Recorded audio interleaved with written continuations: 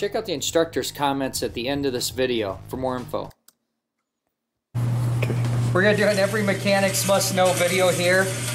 And uh, I can't tell you how much this, this it drives me crazy. And uh, this also is going to be my thought of the day. When we, when we work on the craft of mechanics, there's just some things that we want to ingrain in what we do, okay? When, when this carburetor was taken apart, the parts were put in in the wrong order.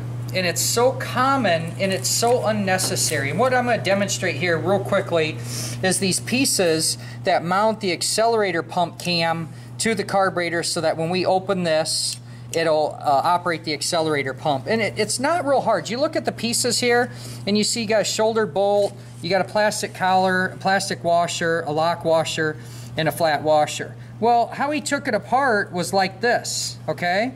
And then we've got, let me put this on here. This was built up this direction, and then this plastic piece was behind, and so on. And it's just not right. It's just not the way that this is supposed to be put together. And people say, well, that's the way I took it apart. Doesn't matter. You guys, listen to me on this. Use your microfiches. Use your service manuals. This is the page right out of the factory service manual for this vehicle that tells us exactly how to do it. Honda put it that way together for a reason. I think that we should duplicate that. What you'll see here in these pieces is the order. So what I like to do is I like to lay them out here on the table. I've got a bolt, I've got my plastic washer, I have my plastic bushing, I have my metal washer, and then I have my lock washer. Now think about that. How hard is that now to go ahead and build that baby up? You guys can answer. Um, Not very It's hard. not hard. not very hard, is it? Okay. No. And actually, I, I did want to show, because this will do it, here's what people will do wrong, is if they put the washer on first and then put this on, do you see how it makes it too thick? And then there's not a washer on the other side? Mm -hmm. Now I'm not all the way through. And if I tighten that bolt down, I'm going to make it where this locks up and then the accelerator pump won't work at all. I'm going to have this all the way back on the bike and then I'm going to be hating uh, I'm going to be hating it, aren't I? So I just want to build this up like so. I'm going to go ahead and get this together. I'm going to look to see it has a lock washer.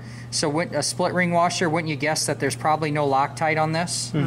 Okay. And I'm going to take and set this in here loose like so. And here's the other thing every mechanic should know not only use your parts fiche, but just get this in here where it's, like I said, just a loose fit. Okay, and then what I want to do is test my work. I want to make sure that as I move this, that it will operate on its own. Do you see that? Mm-hmm. Okay, if things are good here, do you see where then I can go ahead and go forward? After I tighten the bolt fully, move your hand please. After I tighten the bolt fully,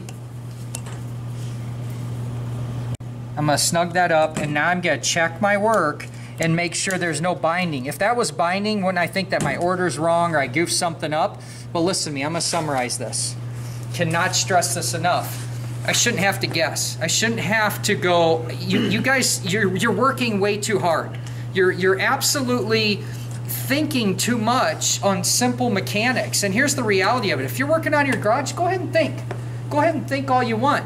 But when you're working on the clock and you're trying to figure out why can't I hit flat rate? Why can't I get things done? It's because you're skipping simple details and not digging into I don't want to have to think this hard about about one, two, three, four, five little pieces. I don't want to think that hard. You know what I want to have to think hard on? Why do I not have power to this component? Why did this piston seize up? Why are you know the hard stuff, the stuff where you have to be a technician, right? You have to be a doctor of mechanics and figure this stuff out. Invest your time in those things. Use these simple techniques and make your life wrench and a heck of a lot easier.